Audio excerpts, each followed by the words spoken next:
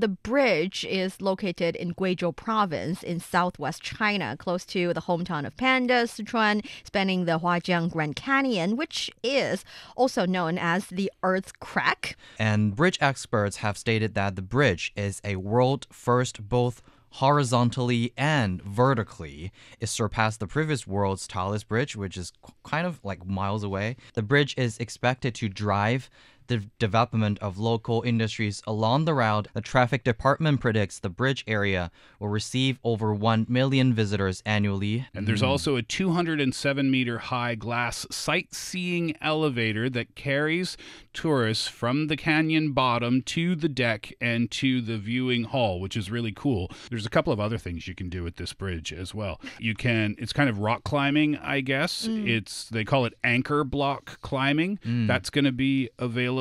Um, also, a swing.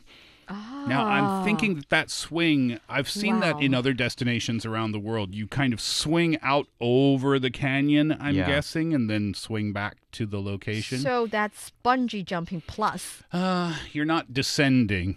Um, you're just kind of swinging out and then and then back. It's like a playground swing. Oh. Yeah, well, if it's but the same at the height of over 600 yeah, yeah, exactly. um, and then they're going to have parachuting uh, available as well, apparently.